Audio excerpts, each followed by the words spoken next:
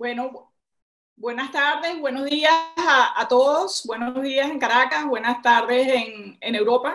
Y, es para mí un placer dar, presentar esta cibertertulia que tenemos hoy con cuatro expertos eh, venezolanos, yo diría que los, los, quizás los cuatro más importantes expertos de, de Venezuela en materia electoral.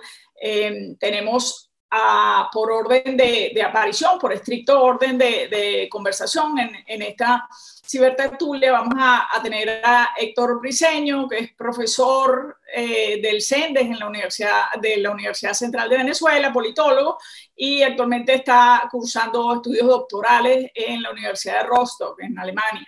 Luego vamos a tener en segundo lugar a Juan Manuel Track, quien es sociólogo y politólogo y es, doctor en procesos políticos contemporáneos eh, de la Universidad de Salamanca.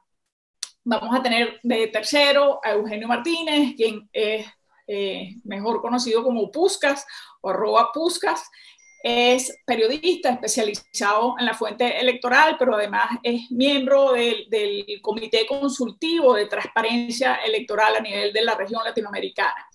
Eh, y eh, en cuarto lugar, en esta primera ronda vamos a tener a Jesús Castellano Vázquez, quien es consultor, especialista en, en materia electoral, pero también consultor de diversos proyectos y, de, alcance hemisférico como el Electoral Integrity Project de, de Pipa Norris, eh, eh, Transparencia Internacional, IDEA y, diversas instituciones que prestan apoyo al tema electoral.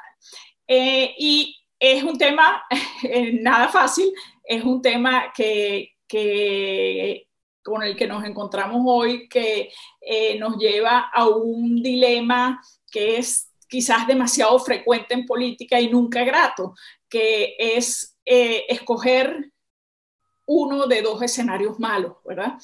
Eh, y ese escoger uno de dos escenarios malos es un, suele ser un, un dilema altamente polémico, altamente conflictivo al interior de las organizaciones, porque nunca los escenarios son óptimos, ¿no?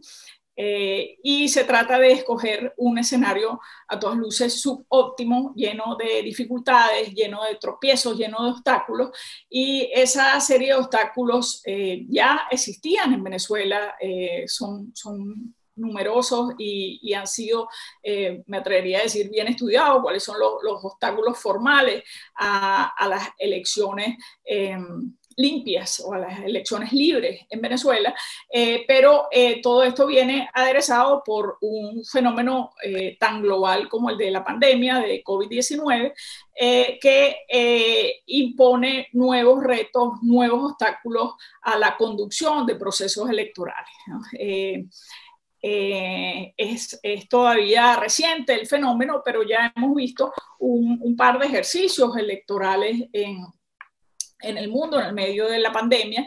Eh, y aún los experimentos más exitosos, como el caso de, Corea del Sur muy recientemente, eh, dejan mucho que pensar en relación al poder desmedido que adquiere eh, la conducción de un proceso electoral en las fuerzas de los gobiernos. Pues, ¿no? conocido es también eh, o, es también, puede también ser fuente de, inspiración y de observación lo que pasó en el medio de la pandemia de 1918, la conocida como, como gripe española, donde eh, coincidió con unas elecciones de mitad de periodo en los Estados Unidos, unas midterm elections. ¿no?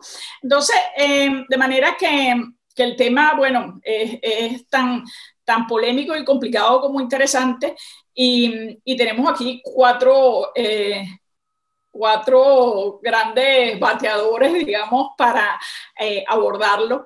Y sin más preámbulo, vamos a, darles la palabra a, Héctor en primer lugar. Héctor Priseño, adelante, Héctor. Sí.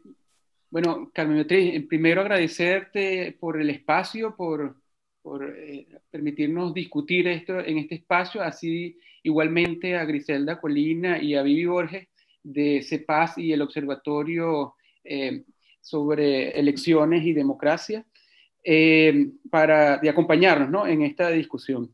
Yo, mi trabajo es, inicia por poner o hablar sobre el contexto político electoral en el que se inserta la llegada del, del coronavirus, ¿no? de la pandemia.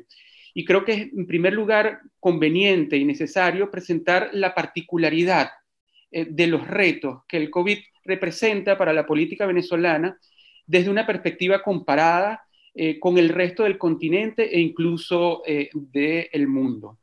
En el contexto internacional, cerca de 70 países tenían programados eventos electorales durante los dos primeros trimestres de este año.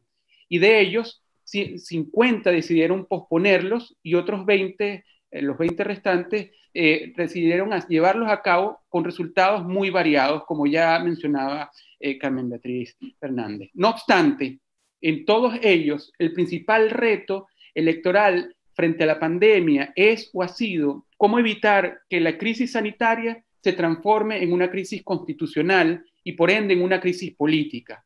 O dicho de otra manera, cómo conseguir un equilibrio entre el riesgo que significa para la democracia no realizar elecciones y la obligación de proteger la vida de las personas. En el caso venezolano, sin embargo, la pandemia llega en el marco de una profunda crisis política que la antecede, entiéndase, una crisis que ya existía, por la que el COVID se transforma en el contexto electoral en una variable adicional que debe sopesarse y resolverse junto al resto de las incógnitas de una muy complicada eh, eh, ecuación. Ahora, ¿cuáles son esas otras variables que anteceden al COVID? En primer lugar, Venezuela ha experimentado un continuo deterioro del sistema electoral durante los últimos 20 años, acelerado los últimos cuatro, luego de la victoria de la, de la oposición en las elecciones parlamentarias del año 2015, la última elección que cumplió con los mínimos requisitos para ser considerada una elección democrática. A partir de entonces, se han realizado varios procesos electorales, Asamblea Nacional Constituyente, gobernaciones, elección presidencial y un par de eventos municipales que se convirtieron todos y cada uno de ellos en agravantes de la crisis política. Adicionalmente, en todos esos procesos, las condiciones electorales per se se deterioraron, se deterioraron cada vez más. Se legalizaron partidos políticos de oposición. La empresa Smartmatic se retiró luego de denunciar diferencias entre los resultados anunciados por el Consejo Nacional Electoral y los recogidos por el sistema automatizado. Los electores y centros electorales fueron redistribuidos por razones políticas. La crisis migratoria eh, movilizó una proporción realmente importante eh, de venezolanos, equivalente al torno al 15% de los electores, reconfigurando tanto el registro nacional como su distribución en todo el territorio nacional e incluso en el mundo. Y más recientemente eh, experimentamos el incendio de los galpones del CNE que destruyó casi la totalidad de la plataforma del ejercicio del voto automatizado. No podemos dejar de mencionar, sin duda, también que las autoridades electorales se mantiene en un estado de ilegitimidad y que la credibilidad de la confianza en las elecciones se encuentra en un nivel muy bajo. Es decir, en resumen, no es exagerado afirmar que nos encontramos en el peor momento del sistema electoral venezolano.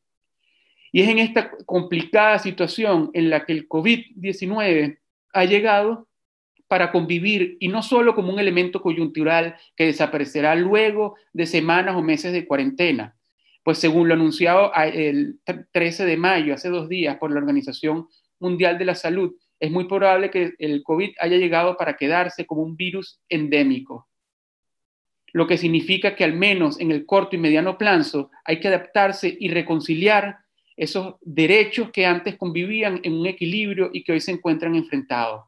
Seguridad versus libertad, derecho a la vida eh, versus derecho a elegir. En Venezuela no existe un evento social, cultural, deportivo o religioso alguno que logre movilizar tantas personas simultáneamente a nivel nacional como lo hacen las elecciones, lo que lo convierte en el evento de mayor riesgo para la propagación del virus. Pero un proceso electoral no se desarrolla únicamente el día de las elecciones. Registro de electores, formación y capacitación de personal, campañas electorales, observación electoral, auditorías y un largo etcétera conforman una cadena de potenciales focos que podrían poner en riesgo la viabilidad del evento, pero también la vida de miles y hasta millones de personas. Entonces es imprescindible buscar soluciones que no nos obliguen a escoger entre derechos. Es necesario votar en condiciones que no pongan en peligro la vida de la gente. Pero donde muchos ven problemas, otros ven oportunidades. Hasta el momento, muy lamentablemente, el gobierno ha aprovechado la pandemia para afianzar su control político, encarcelando a periodistas, amenazando intelectuales, persiguiendo opositores.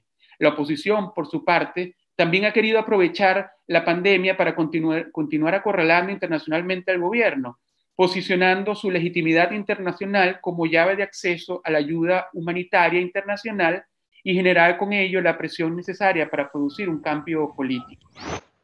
En este escenario, el principal reto que tenemos los venezolanos frente a la eh, pandemia no es que la pandemia no se convierta en una herramienta electoral ni para el gobierno ni para la oposición. Por ejemplo, al utilizar la pandemia para incentivar o desincentivar electores, al crear condiciones que pongan en peligro la vida de un determinado grupo de electores. Por ejemplo, los megacentros electorales que suelen generar condiciones de hacinamiento. Es necesario también entender que la elección parlamentaria que tenemos por delante no es una elección más, sino la elección de la última institución legítima del el país. Y con esto eh, culmino yo mi, eh, mi intervención diciendo que este es el contexto el gran reto al que tenemos que enfrentarnos los venezolanos.